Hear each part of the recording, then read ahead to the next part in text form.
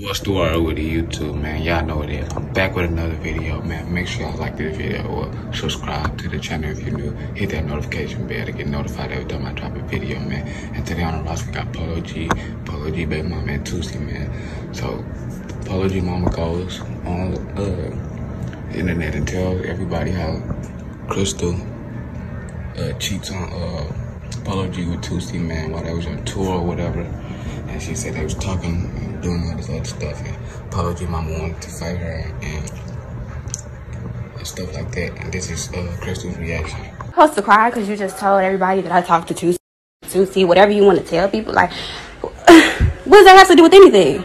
Are you the drama? Like, what's going on? I'm not getting why you don't like me because I talked to Toosii. That doesn't make sense.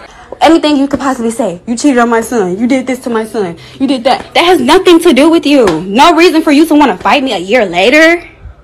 Your son don't even want to fight. And we know he good for it. So he didn't even want to fight me. So let's not even do that. You don't like me because of Toosii? You don't like me because it was in the closet? That's every reason for Polo not to like me. What does that have to do with you? When it's my house, it's my business. That could be true. That probably is true. That's still not no reason for you to fight me a year later. You said what you said, right? This, this, shit happened, right? Y'all keyed my car, y'all put me out the house. Yeah, man, that's crazy. Why would Crystal do Polo like that, man? And man, they say they're gonna uh, squash that and move forward with life for their son and just make everything better because they don't want to be on bad terms while their son, like, they, again, Crystal might try to take the son away from the family and stuff like that, man. Yeah, that'll be bad for everybody, man. So they're resolving their problem, they're leaving it alone and just moving forward to a better life for their son and just, you know what I'm saying?